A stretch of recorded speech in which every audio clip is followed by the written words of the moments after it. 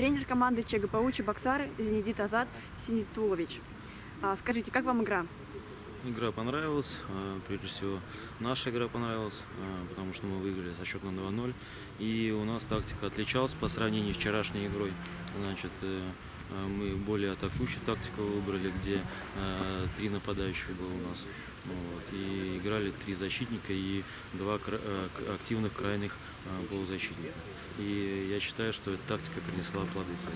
Мы выиграли со счетом 2-0. То есть вы добились задачи, которые были поставлены? Я считаю, что достигли. Я доволен ребятами.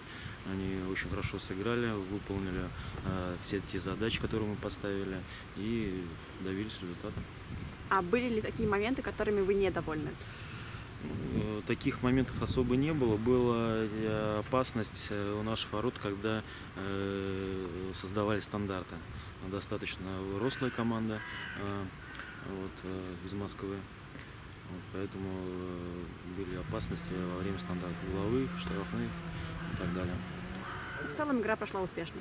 Да, я считаю, да, я ребятами доволен. Спасибо им за хорошую игру. То есть Спасибо. вы установили рекорд вообще, получается, свой в этом турнире. Э, Да, за первые две игры мы набрали 4 очка. Вот, э, э, я, я считаю, что это достаточно хорошо, но при- э, на этом нельзя останавливаться. Нужно набирать как можно больше очков, не только в завтрашней игре и в следующих турах.